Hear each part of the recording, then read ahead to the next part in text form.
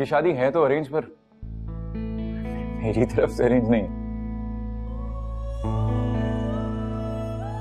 मैंने जब आपको पहली बार देखा था ना, तभी मोहब्बत हो गई थी आपसे।